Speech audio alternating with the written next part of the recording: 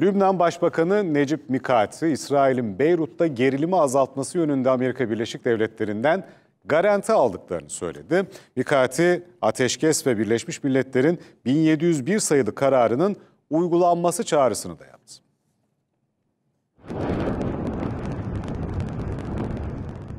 ABD Lübnan'a İsrail saldırılarının azalacağı garantisini verdi. Açıklama Lübnan Başbakanı Necip Mikati'ye ait.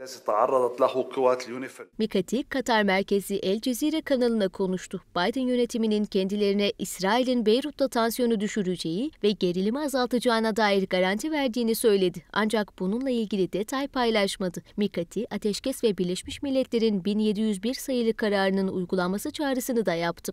El-Amru Lübnan Başbakanı Mikati'nin açıklamalarından saatler sonra Hizbullah Genel Sekreter Yardımcısı Naim Kasım, İsrail'e tehdit niteliğinde konuşma yaptı. Hizbullah'ın İsrail'de istediği her noktaya vurabileceğini söyledi. 17 Eylül'deki çağrı cihazı saldırılarının ardından artık doğrudan İsrail'e karşı koyuyoruz dedi. Men el isnad İsrail Lübnan'ın her noktasına saldırdığı için bizim de savunma anlamında İsrail'in herhangi bir yerine vurma hakkımız var. Uygun gördüğümüz noktayı vuracağız. 17 Eylül'ün ardından artık yeni bir safhadayız. İsrail saldırganlığını ve Lübnan'a açılan savaşla karşı koyuyoruz. Artık destek aşamasında değiliz.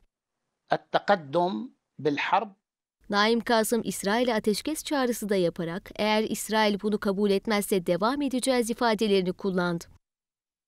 İsrail ordusu ise Lübnan'ın güneyindeki kara saldırılarını sürdürüyor. Sosyal medyada İsrail askerlerinin bir yerleşim yerinde bayrak çekme görüntüleri paylaşıldı. Ancak videonun ne zaman çekildiği bilinmiyor.